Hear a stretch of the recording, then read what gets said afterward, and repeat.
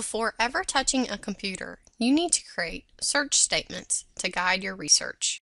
What is a search statement? A search statement is a combination of keywords and search tools used to refine your research and get better results.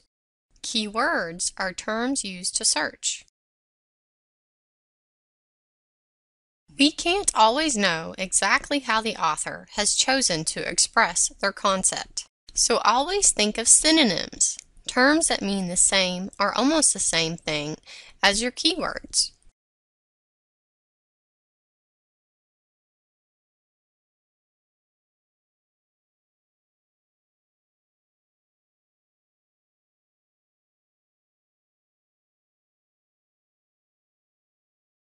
The more precise your keywords, the more likely you are to find articles directly pertaining to your topic.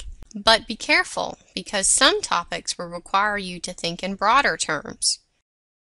For example, your topic is the Minnesota I-35 West bridge collapse, and you have to find five peer-reviewed articles.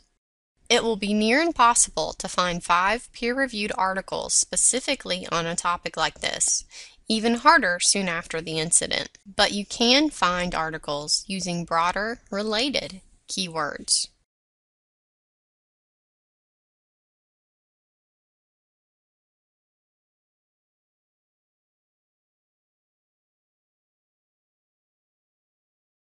Search tools are techniques used to combine or enhance keywords to create stronger search statements.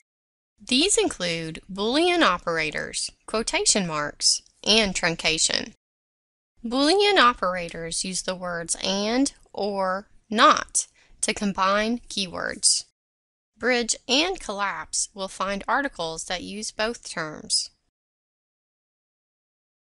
Adolescent or juvenile will find articles that used either term. Bridge not truss will only return materials that used bridge and that did not use the term truss anywhere. Use quotation marks to indicate a phrase.